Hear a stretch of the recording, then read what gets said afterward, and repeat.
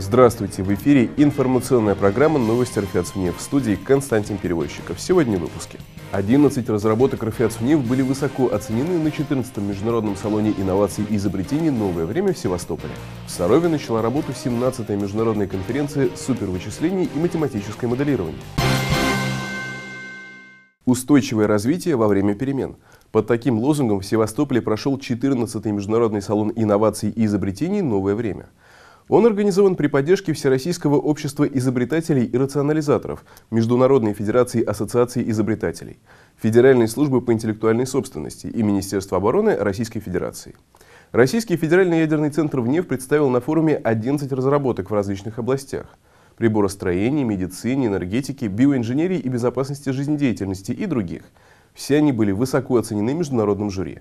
Четыре золотых медали, шесть серебряных, одна бронзовая, несколько специальных призов – а компактный аппарат для ингаляционной терапии оксидом азота «Тианокс» получил гран-при салона. 20 регионов России и 28 стран мира представили свои разработки на 14-м Международном салоне инноваций и изобретений «Новое время». Строгому жюри предстояло определить лучших. Задача непростая. Изучить и оценить нужно было более 340 разработок, каждая из которых уникальна и защищена патентами. Как отмечают организаторы, с годами растет не только количество участников, но и качество изобретений. Авторы стремятся, чтобы их идеи были жизнеспособными, а разработки могли со временем приносить пользу в самых различных отраслях отраслях – от военной промышленности до сельского хозяйства. Российский федеральный ядерный центр ВНИЕФ продемонстрировал на салоне 11 изобретений, защищенных патентами РФ в области приборостроения, медицины, энергетики, биоинженерии, безопасности жизнедеятельности и других. Все эти разработки сначала прошли жесткий отбор на самом предприятии и лишь потом получили право быть представленными международному жюри.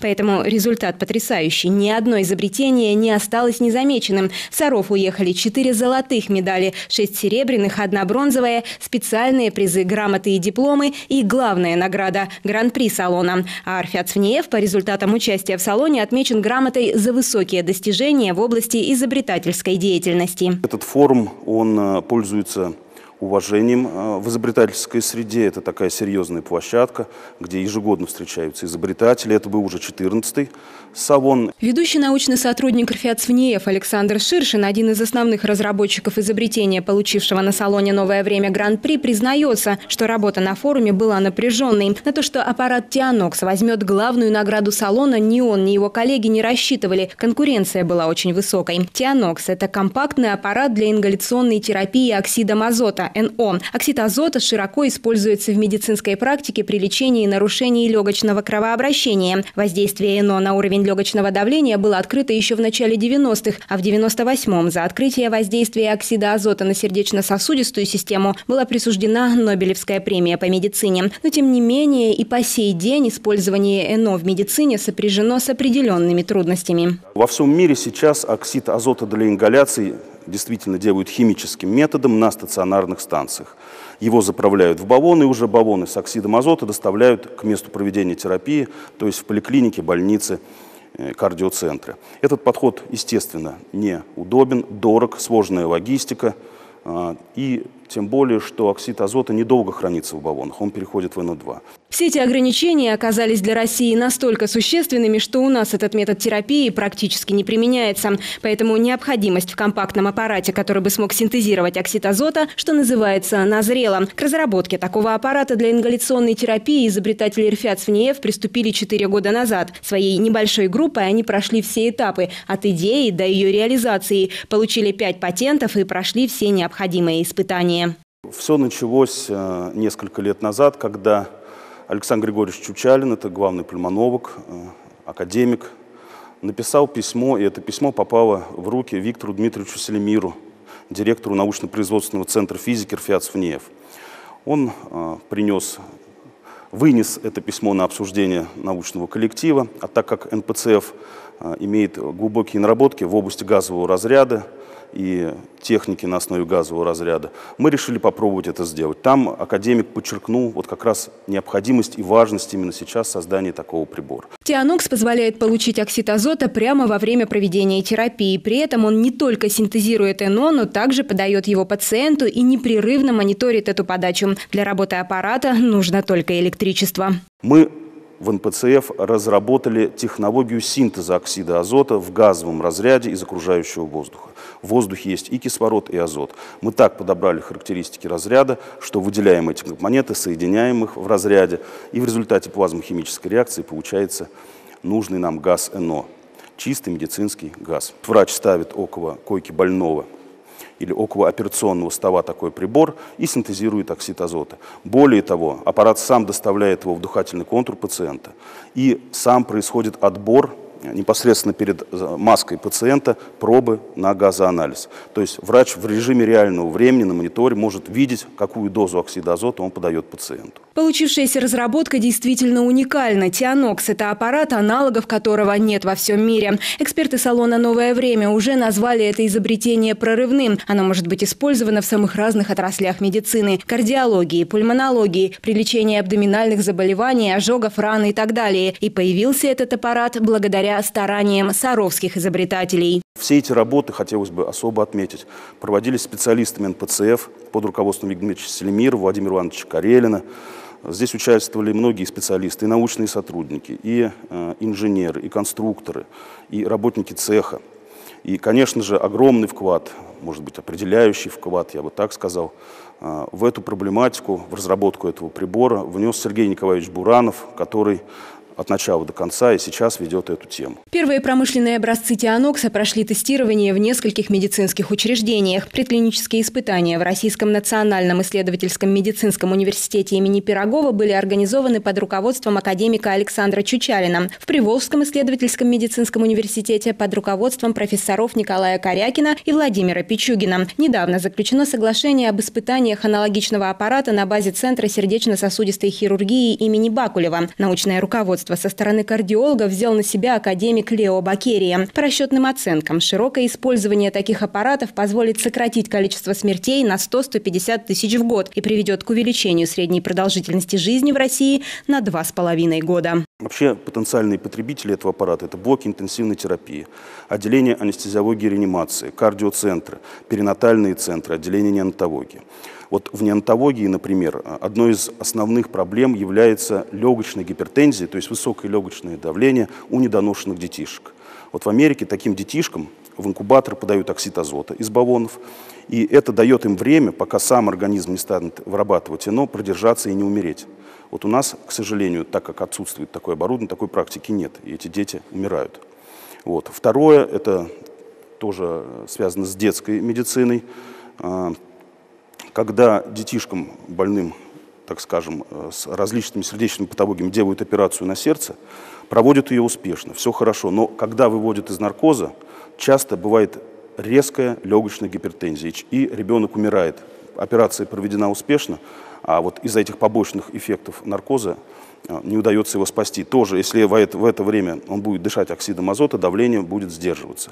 Аппарат Тианокс даст шанс на жизнь и тем, у кого при болезнях сердца выявлена легочная гипертензия. Сегодня таким пациентам отказывают в операциях. Если во время операции, опять же, проводить терапию оксидом азота, их берут на операцию. Вот сейчас наши приборы работают в, э, уже работают в, так скажем, Нижегородском кардиоцентре, работают в Москве в НИИ пульмонологии, работают в центре Бакулева у Бакерии – и сейчас вот буквально через неделю мы повезем два аппарата в Питер на клинические испытания.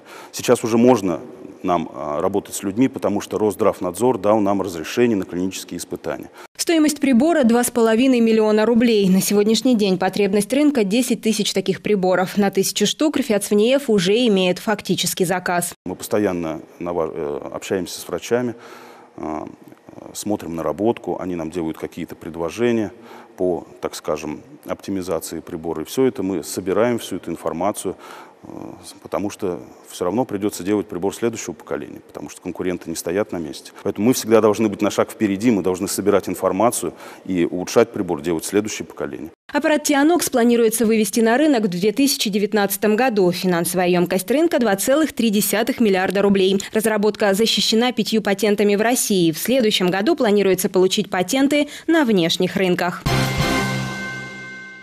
Первая научно-производственная конференция в математическом отделении КБ-11 прошла в 1959 году и сразу стала популярной среди специалистов этой области. А во второй половине 90-х она приобрела статус международной. 15 октября в Центре культуры и досуга РФЯЦНИФ начала работу 17-я международная конференция супервычислений и математическое моделирование. Программа конференции по традиции насыщена и включает в себя пленарные секционные заседания, а также стендовые доклады. Представленные работы охватывают широкий спектр исследований в областях вычислительной гидродинамики, численного моделирования задач прочности, магнитной гидродинамики и физики плазмы геомеханики и геофизики, имитационного моделирования в высокотехнологичных отраслях промышленности, инженерного анализа и методов распараллеливания на многопроцессорных ИВМ. Математическое моделирование в промышленности, в разработках э, в, не, в разы, не на проценты, а в разы сокращает сроки разработки, в разы сокращает количество материалов и экспериментов, и вот это, конечно, сейчас задача очень важная. И поэтому, конечно, совершенно по-другому нужно инженеров готовить. Вот это, эти технологии приводят к тому, что система образования должна быть кардинально изменена. Вы занимаетесь важнейшим делом, которое затрагивает практически все значимые области научно-технического развития Российской Федерации. Мы, конечно, будем по максимуму помогать этому направлению. И, конечно, мы надеемся, что мы внесем с вашей помощью серьезный вклад в развитие и науки, и техники, и всей промышленности Российской Федерации.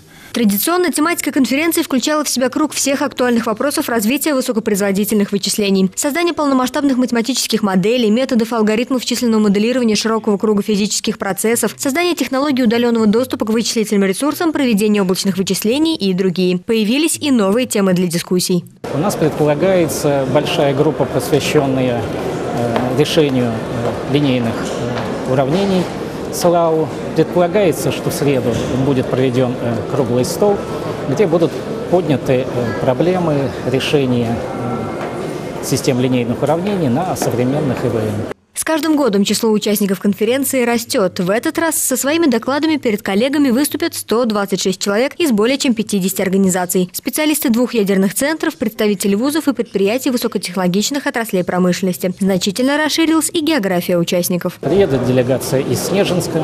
В этом году у нас э, три участника из-за границы. Из Германии, Швейцарии и Франции.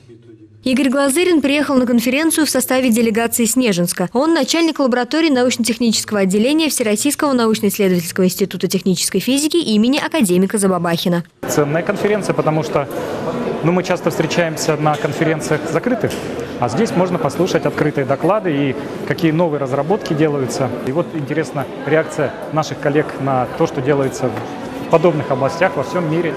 Ну и обсудить разные нюансы нашей работы. По традиции, по окончании работы будет издан сборник трудов 17-й международной конференции супервычисления и математическое моделирование. Также планируется включение сборника в электронную наукометрическую базу Российского индекса научного цитирования и опубликование на сайте научной электронной библиотеки. Конференция завершится 19 октября. На сегодня это все, о чем мы хотели вам рассказать.